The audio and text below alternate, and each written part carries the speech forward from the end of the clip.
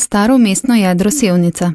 Sevnica je bila prvič pisno omenjena leta 1275 z nemškim imenom Lichtenwald.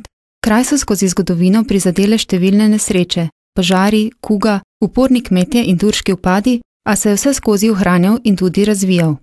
Trške pravice je naselje pod istoimenskim gradom dobilo leta 1322, pravico do prirejanja sejmov leta 1513, do letnih živinskih sejmov pa leta 1783. Leta 1866 je bila tu ustanovljena prva čitalnica v Posavju, tri leta kasneje pa je bil tu tudi tabor, ki je podpiral zamisli zedinjene Slovenije. Leta 1862 je bila tu speljana železniška proga.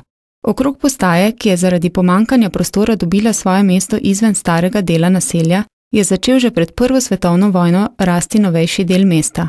Med drugo svetovno vojno je bilo tako kot drugot v Posavju veliko ljudi na silo odvedenih z domov. Mnogi življenja v izgnanstvu in koncentracijskih taboriščih niso preživeli. Danes ima Sevnica okrog 5000 prebivalcev in je pomembno lokalno središče, ki zlasti v tovarnah tekstilne in lesne industrije zaposluje številne ljudi iz bližnje in daljne okolice. Mesto se če dalje bolj spaja z Boštanjem, naseljem na nasprotnem desnem bregu reke Save. V starem mestnem jedru, katerega v srednji del je glavni trg, je ohranjenih več starih stavb, ki nemo pričajo o preteklosti naselja. Na glavnem trgu stoji manjši spodnji sevniški grad, ki nosi letnico 1613. V njem je danes sedež občinske uprave.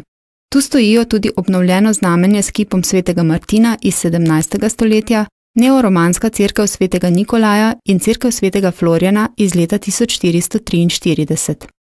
Osrednji znamenitosti Sevnice sta grad Sevnica, imenovan tudi Zgornji Sevniški grad in Lutrovska klet.